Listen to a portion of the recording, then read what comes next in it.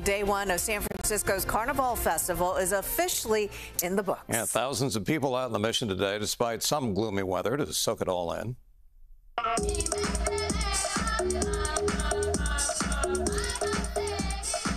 This year's Carnaval brings together people from 18 separate Latin American and Caribbean countries.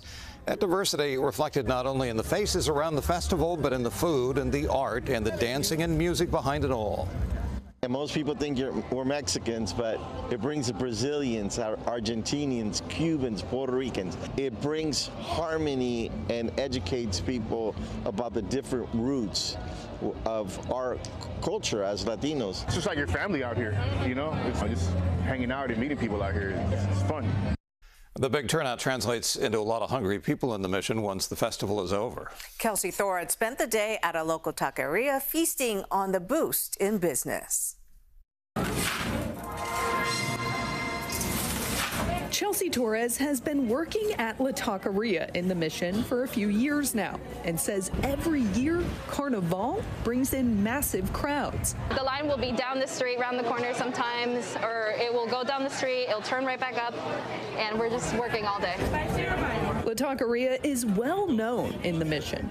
It's not uncommon to see lines out the door like today. But they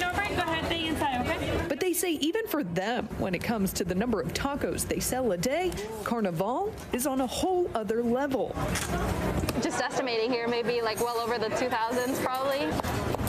Chelsea says while that workload may be daunting, their staff loves being a part of the festival every year. You know, it's like you get to see the whole ambiance of people coming out to see the parade and everything that's going on. You know, people, tourists, a lot of tourists come over. You get to learn about people and where they come from and why they came. You know, it's it's very nice. The other nice thing is the boost in business those tourists and spectators bring to the mission.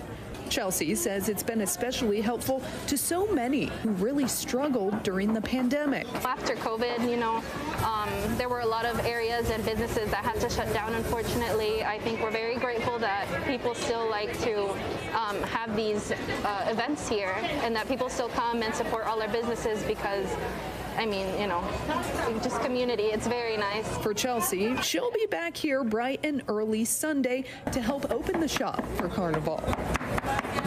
She's expecting it to be a long day, but one filled with a lot of fun and also a few thousand tacos. You prepared for a lot of customers tomorrow? Absolutely.